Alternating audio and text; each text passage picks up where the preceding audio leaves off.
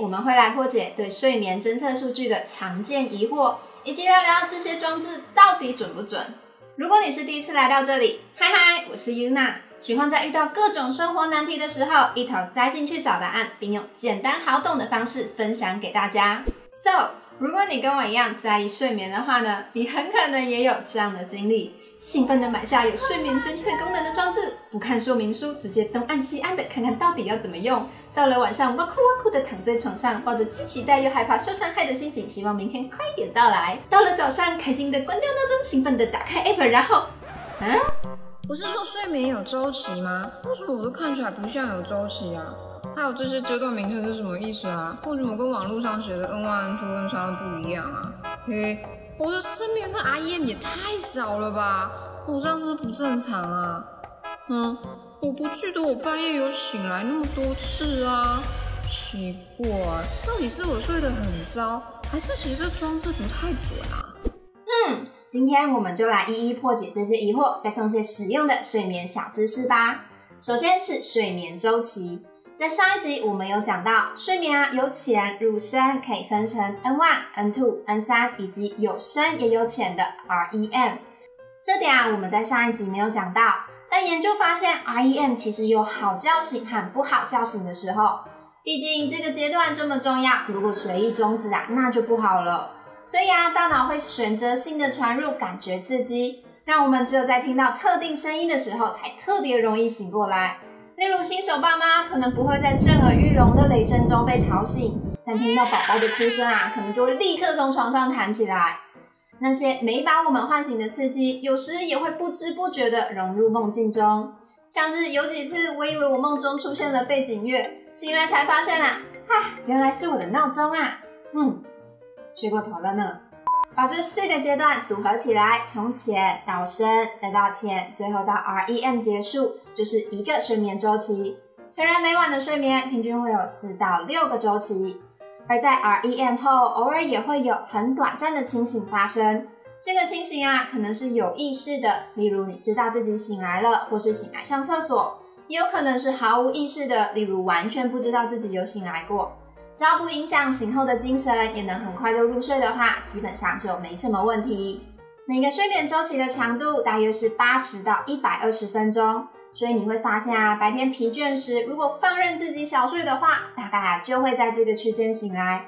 也会有人建议，如果晚上真的没有时间睡饱的话，至少啊也睡九十分钟的倍数，那样就比较有可能在一个周期的结束、下个周期的开始的浅眠阶段醒来。醒后也就比较不会昏昏沉沉的喽。但周期的长度因人而异，每个人一个晚上每个周期的长度也不同，所以呀，算个大概就好。那到底为什么周期的长度会不一样呢？那是因为啊，每个周期组成的阶段和每个阶段的长度都会随着睡眠时间而改变。像是 N 三深眠期集中在睡眠的前半夜，REM 做梦期则是集中在睡眠的后半夜。为什么要这样设计呢？目前啊还没有共识，但推测又是和记忆巩固有关。在一天结束后，你的大脑资料夹里面会有一大堆的资料要整理，而整理的第一道工序呢，就是把不重要的丢掉，重要的留下来，也就是 N 三的工作。每整理一个阶段呢，就会把有关的资料放在一起，也就是 REM 的工作。随着整理的进行，该丢的、该留的都整理的差不多了，所以 N 三也就会逐渐减少。剩下就是认真的把这些精华资料和旧资料做连接，并且强化巩固它们，所以 REM 会逐渐增加。当睡眠结束后，你大脑的认知系统就会再上升一个等级，让你能更游刃有余的面对新的一天。这边啊，也要补充一个对经常晚睡或是早起的人来说重要的小知识：专门研究睡眠与记忆的神经科学家 Dr. Gina Poy 在访谈时曾说。如果你习惯十点睡，你的睡眠循环就会从十点开始；习惯两点睡，就会从两点开始。如果习惯十点睡的你，某天十一点半才睡，睡眠循环的班表啊，不会立刻往后移，而是会先照着原本的进行。就像你十点才到学校，就会错过早自习和第一节课从第二节课的中间开始一样。比平常晚睡的话，很可能就会错过第一个睡眠周期，直接从第二个开始。而 N 三主要又集中在睡眠的前半夜，也就是第一和第二个周期，所以晚睡就可能会少掉大量的 N 三。相对的，如果平常都八点起床的你，早了一个半小时起床，那大量减少的就是集中在后半夜的 REM。要维持同样的作息几天，睡眠循环的班表才会逐渐调整。因为在这个过程中，体内排好的工作会变得有点小混乱，导致许多工作都做不完，所以啊，感觉都会不太好受。而这个过程就是出国经常会遇到的调时差。所以啊，即使人没出国，但经常不规律晚睡早起的话，对身体来说就像是三天两头都在出国调时差一样难受。虽然身体有调整的弹性，但 Dr. Gina Poi 也说。就寝时间越一致，或许每天正负个十五分钟左右，身体也就能运作的越良好。对年纪越大的人来说，保持固定的睡眠时间，甚至是拥有健康神经系统的一大指标哦。这时啊，你可能会想问：那如果我非得挤出时间做很重要的事情的话，晚睡还是早起，哪个比较好呢？这得看你的状态做决定。有些人会建议绝对不要错过 N 三，要做什么就早起起来再做。但有些人就是事情没做完就焦虑的睡不着觉，怎样也早起不了，或是早起的坏情绪可能影响了大半天的决策。所以啊，尝试过后觉得哪个负担小就选哪个喽。只要不长期累积，身体都是会努力帮你 cover 的。接下来是大家很关心的，为什么有好好睡觉，可是 N 三跟 REM 还是那么少呢？这部分啊，我们要拆成两个部分来谈，一个是四阶段的比例，另一个是穿戴装置的准确度。首先，我们已经知道四阶段有各自的任务，但就像你不会因为吃饭运动很重要，就逼自己整天都要吃饭运动一样，四阶段也有各自需要的工作时间长度。以成人来说，一个晚上的睡眠可能会有五到八 percent 是清醒的，这包括入睡和半夜短暂的醒来。入睡之后呢，经常合称为浅眠的 N one 和 N two，分别各占二到五 percent 和四十五到五十五 percent。没错，N two 其实才是占最大的阶段。深眠 N 三占十三到三十三 percent，做梦 REM 则占二十到二十五 percent。是不是跟你以为的比例很不一样呢？说到这里啊，也可以顺便解开睡眠侦测的分类名称和四阶段该怎么对应的问题。通常侦测的分类都会包含清醒、浅眠、深眠和 REM。清醒和 REM 没什么好说的，深眠啊对应的一定是 N 三，前面通常是 N one 加 N two，但也不是每家都会显示四个分类，有的会把 REM 算进前面，有的则不会显示清醒。名称也会为了让使用者好懂而有不同的说法，例如 Apple Watch 的前面就叫做核心睡眠。最后来考考大家。Pokemon Sleep 的分类：浅浅入梦、安然入睡、深深入眠，分别对应的是哪个阶段呢？咚咚咚咚咚，答案就是 REM N one 加 N two 和 N 三。你答对了吗？是说关于睡眠各阶段的比例，还有一件事情要注意：前面提到的那些数字啊，都只是平均值，不是评分标准，实际比例也可能随着年龄不断的改变。同年龄者的比例也不尽相同，即使是同一个人，每一天的比例也会不太一样。根据日本厚生劳动省，相当于我们的卫福部提供的资料，可以看出啊，无论几岁，前面都占了我们大半的睡眠时间。深眠跟 REM 则会随着年纪逐渐的减少，但深眠减少的幅度更大一些。这并不代表年纪越大就越不需要深眠和 REM 的各种修复和记忆功能。而是随着身体的老化，让我们越来越难做到这件事，这也加速了老化的速度。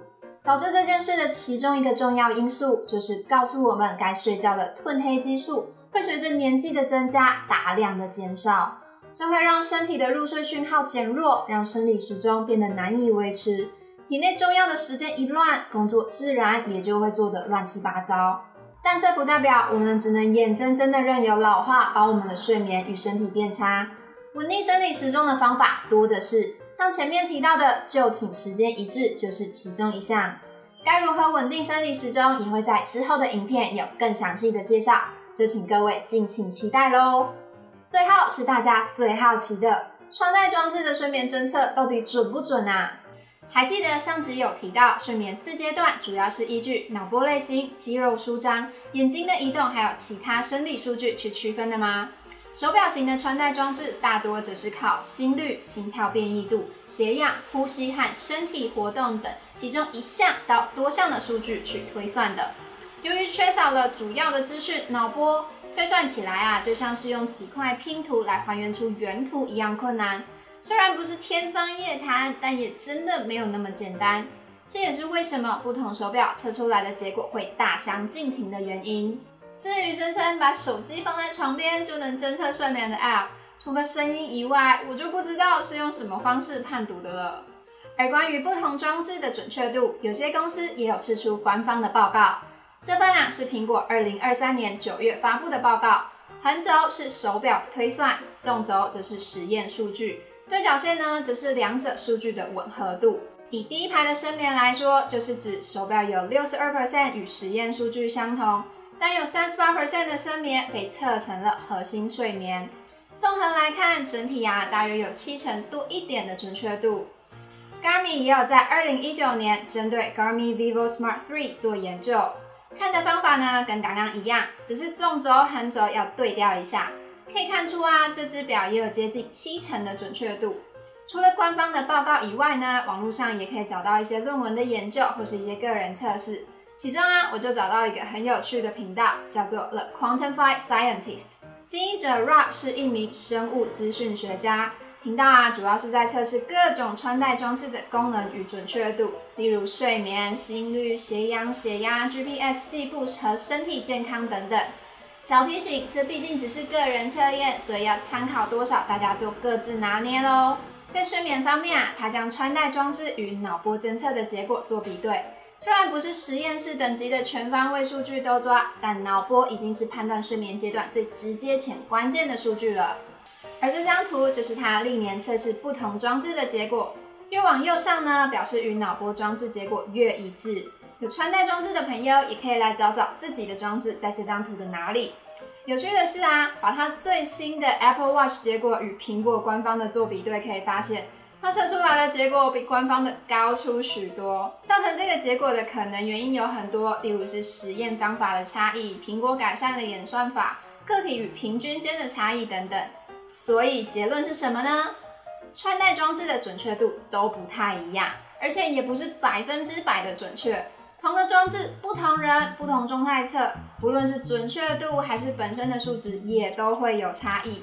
所以呀，之后在看待这些数据的时候，就别太紧张计较了，放宽心一点吧。就像看体脂计的结果一样，你评估过后觉得还算准确的话，就参考趋势变化；觉得没那么准，还会让你心烦意乱的话，那就别看了。别为一个数字坏了你一天的心情。好，那么今天的分享就到这里啦，希望能对你有所帮助。最后想问问大家，这集让你觉得最惊讶或是最有用的知识点是什么呢？欢迎你在下方留言分享。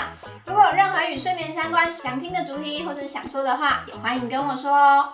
那我们就下集再见喽，我是 Yuna，祝你今晚睡个好觉，拜拜。